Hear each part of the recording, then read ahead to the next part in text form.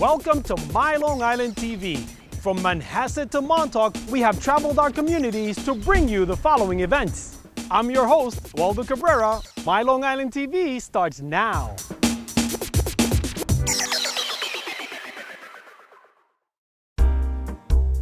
After years of construction and anticipation, the Wyandanch community celebrates the grand opening of the first building at Wyandanch Village. Three, two, one. In 2002, uh, the year I became Babylon Town Supervisor, we launched uh, with the community the Wyandanch Rising effort.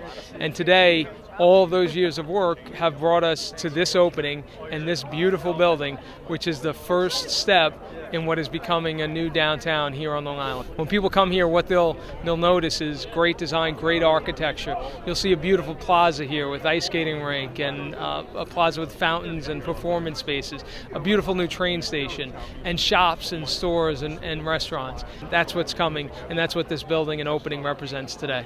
Although today is the official ribbon cutting ceremony, this new building is almost at full capacity. I'm very pleased to announce that the residential apartments in this building have, have been very strong in leasing, and today we're over 85% leased. A big reason for the high occupancy rate is the affordability of the units. The project is financed, this first building is financed um, through the New York State Affordable Housing Program, which provides financing through low income housing tax credits.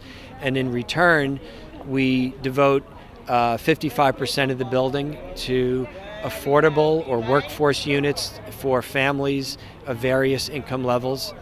And the balance of the building, 45%, is for market uh, market homes at market rental prices. Price is not the only consideration for today's renters. What people want today, they want convenience, they want lifestyle.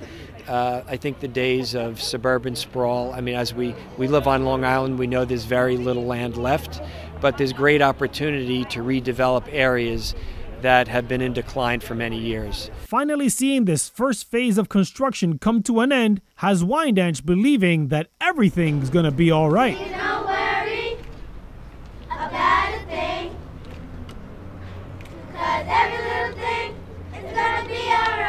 I've been in this community since 1996, and um, I'm happy to see new things and new changes.